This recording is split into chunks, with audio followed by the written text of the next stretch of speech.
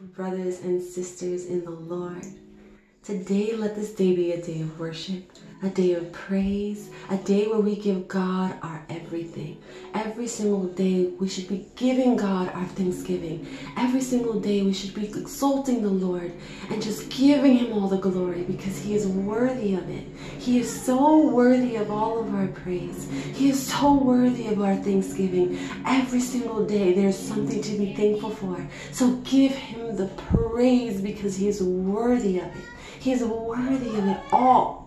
He is so good to every single one of us. He is so good. We are here today. We are breath in our lungs, a beating heart. We are alive another day to give him praise.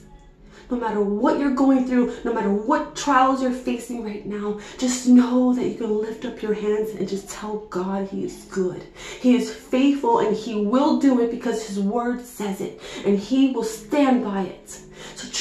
In the Lord with all your might, with all your heart, with all your strength, and with all your mind, and He will deliver.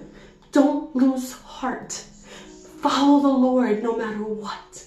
He loves you. He cares for you. He's there for you. And He just wants you to acknowledge Him. Look up and acknowledge the goodness of God. It is all around us. God is so good, and I just want every one of you to feel His presence. I want you to feel that He is amazing. The Lord God is just so good. So may His love wash over every single one of you that's watching this. I pray that He will just overcome you with His unfailing love and just continue to wreck you in the best ways and that he will continue just to mold you more like him in the name of Jesus Christ. God bless you guys. May this day be a day of worship, praise, thanksgiving to the Almighty who deserves it every single day. God bless you.